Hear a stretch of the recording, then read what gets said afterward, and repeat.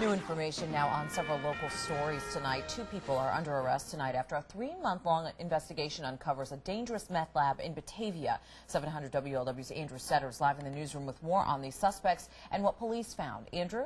Yeah, this is not the way you want to wake up in the morning with masked men crawling around outside your home. But in Batavia this morning, that's exactly what happened when the sheriff's office swooped in on a pair of mobile homes where people were making meth. This right under my nose. I'm serious. I walk in and out of my house every day and have never realized that that was going on across the street. People who live in the Greenbrier Mobile Home Park are surprised to find out their neighbors were cooking up a toxic brew of drugs right next door. Well, there was a big commotion at first, just sheriffs everywhere. Deputies had to proceed with caution as they cleaned up the chemicals needed to cook up methamphetamines. It's a big worry for people who live in this tight-knit trailer park. I've got daughters. I've lived here for eight years, and there's kids all over the neighborhood here, and that's a that's a real danger to the kids in the neighborhood. Arrested are 36-year-old William Scrow and his girlfriend, 19-year-old Serena Petrovsky.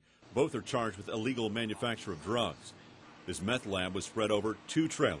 The sheriff's office says they were using a dangerous recipe for meth that included potentially explosive chemicals found in road flares. That makes the already dangerous cleanup process even more hazardous and leaves neighbors even more nervous. Now that I know it was here, I'm glad it's if they're caught and it's going to get out of here. It makes me wonder how many more of these are in the neighborhood, more people like that.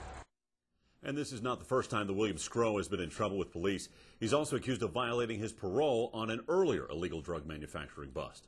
Reporting live, Andrew Setters, News 5, where the news comes first.